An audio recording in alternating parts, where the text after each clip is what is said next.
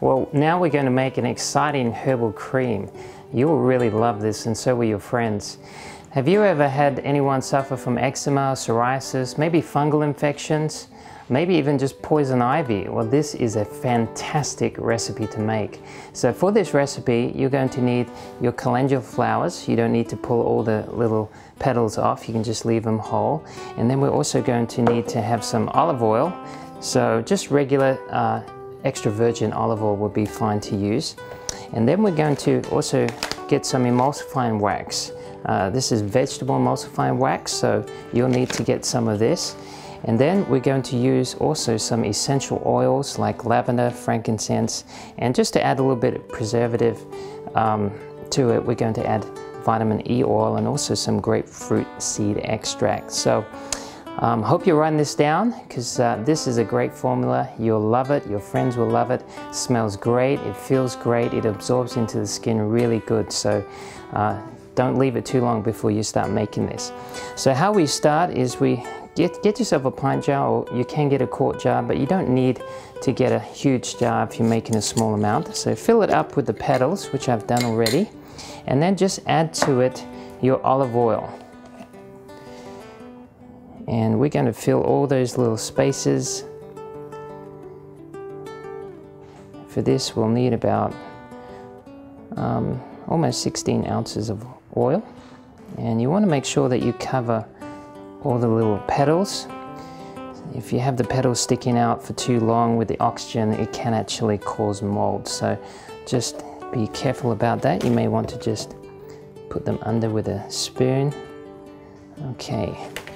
Now, calendula has some really, really great properties. It's anti-inflammatory, it's also antibacterial, it's antifungal. Um, it smells really good and uh, it's very soothing to the skin. So you can use this also for children or people with sensitive skin. So we've got that on nice and tight. Now what we need to do is we need to slowly cook this. Now you'll need a crock pot. So get your, your crock pot and we've already put some water in there so it's ready to go. And you want to put it on a low setting. Now I just thought I'd mention to you that the best crock pot to get will be a crock pot that you could adjust the temperature because usually it has low or high or low, medium and high. So on a low setting it's about 150 degrees but at that temperature some of the properties can be destroyed. So um, just to preserve it in its best state of health uh, you may want to look at getting something that has a variable temperature gauge that could go down to even 100 degrees. So we're going to place that inside there, it's surrounded with the water, and we're just going to put the lid on. We're going to set it to the lowest temperature, and then we're going to leave that for three days. You don't need to add anything extra, you don't need to top it up with water. As long as you've got the lid on, it should be fine and we're going to come back in a few moments and get some of this oil and finish it off. Okay, so we've just taken our calendula infused oil out of the crock pot and now we're ready to do our last part which is mix up all the ingredients. So you want to get a little jar and have a sieve over the top and just pour all the contents into the sieve. Just take a few moments to, to, to settle into the jar. Now, I just thought I'd share with you a little bit more about the benefits of calendula. It's fantastic if you have poison ivy. In fact, the first person I tried this out on was actually a young lady that had poison ivy so bad she couldn't even open her eyes. And uh, the mother was quite concerned. And I didn't know how effective it was going to be, but I said, let's just try. And uh, the next day, she was almost completely covered. Just a little bit left, but she was looking so much better. So that gave me a little bit of uh, added confidence with using this. And then also we used it for people with eczema, for psoriasis, for fungal infections, for pain. We've even had people use it for shingles. You can use it for athlete's uh, foot. And it's just so mild, it's so easy to use. It's very good for um, even infants. You can apply this topically. So it's a, it's a great uh, way to um, apply cream. So we've got everything ready to go here. Now we're not going to use all the contents. You just want to get yourself a quarter of a cup of oil. So we're going to pour that in here and put it in the blender.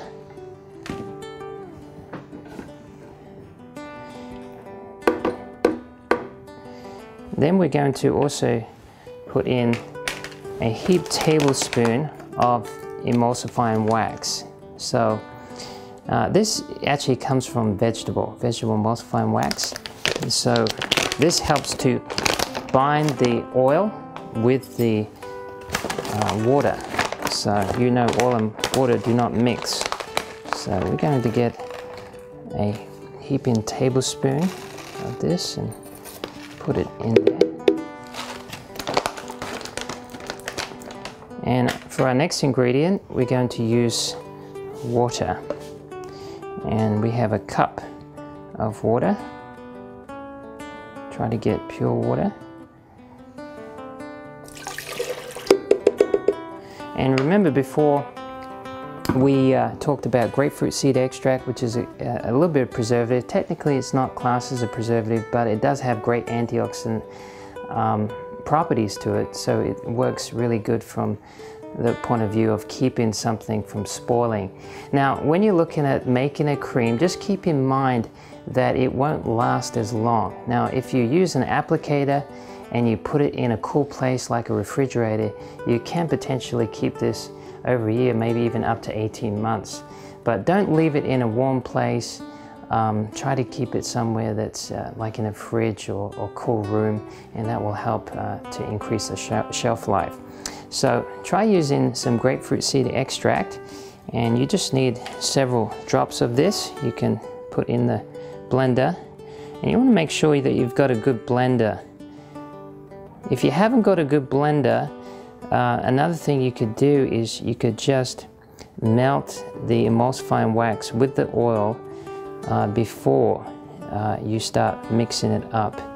If you've if you've got a just a cheap blender, I like to use either Vitamix or this one's a Blendtec, and it gets it really well uh, worked in and has a nice um, outcome. So we're also going to use a few drops of vitamin E oil, and vitamin E oil is a natural preservative as well.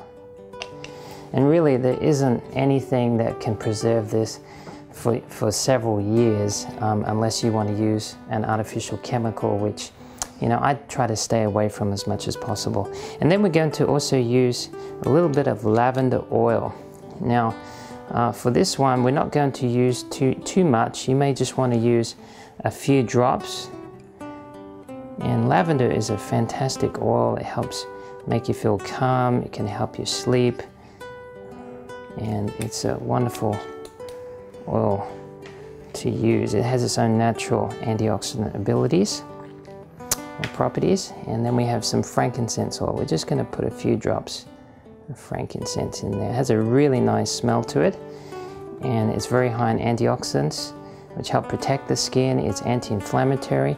It's also antiviral, antibacterial. So just like um, uh, calendula. So now it's time to blend. So we just blended this for a few seconds. You can see it's a little bit liquidy, hasn't solidified yet, but if you put it in a container, and I suggest you get something like this, which is um, resistant to the oils uh, leaching the plastic. We use polypropylene containers. This is a four ounce container.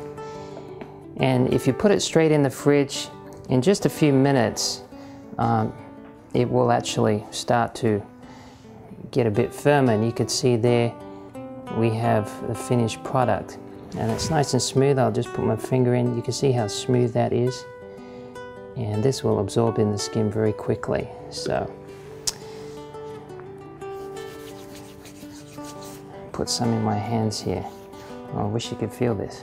It's really good.